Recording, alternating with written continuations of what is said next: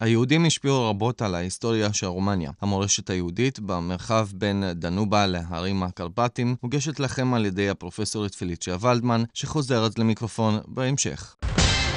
מורשת תרבותית יהודית ברומניה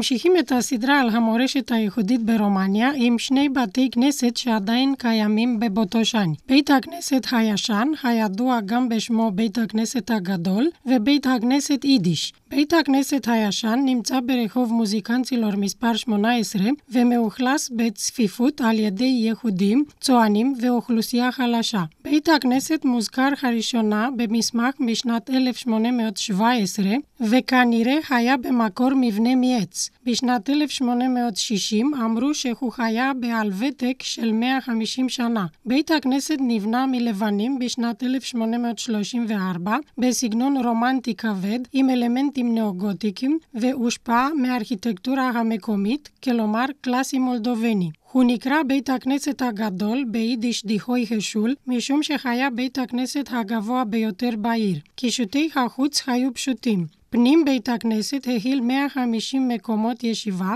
וקשת רחבה ומקושטת מעל 30 ספרי התורה שהיו בבית הכנסת. בבית כנסת זה נוכח חזן בכל ימי התפילה. בית הכנסת היה יוצאת דופן בשל פיתולי העץ, יופי הנברשות והתמונות יוצאות דופן שהציגו 12 דגלי השבטים, מזלות ותמונות נוף מארץ ישראל. קישוטי הפנים מושכי העין היו בניגוד לחיצוניות המבנה שהייתה נטולת קישוטים.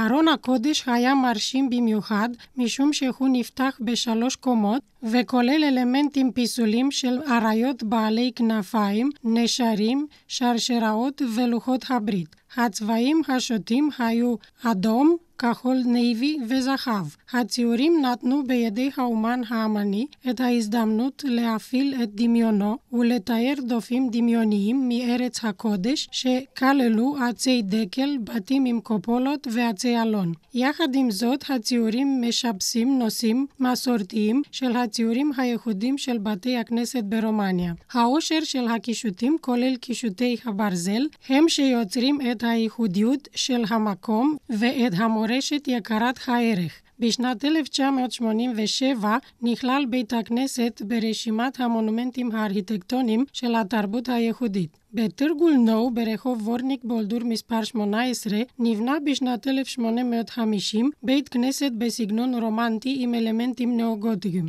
מבנה זה משמש בתור יידישי בית מדרש והרבה יהודים נהגו לפקוד אותו. בבית כנסת זה נהגו יהודי בוטושן לבוא להתפלל בימי השבוע. במקרה זה הקישוטים הפנימיים, התקרות המצוירות, פיתולי העץ ואגודות הברזל עולים בקנה אחד עם הקירות החיצוניים המרשימים המקושטים עם קשתות סביב לחלונות. שתי שורות החלונות הגבוהים המאוחדות על ידי קשתות גדולות נותנים לבניין מערה דינמי ונוכחות הרבה יותר מאשר בתי כנסת גדולים בתרגולבק. בית הכנסת מתרגול נו שופץ לאחר השרפה של 1887 ונפתח לחדש בשנת 1889. ידוע שאברהם יוסף שניצר, האומן מאודסה, עבד על קישוטים של ארון הקודש ועל הציורים בהשערת התנ"ך. כיום המבנה מוזכר למוסך מכוניות.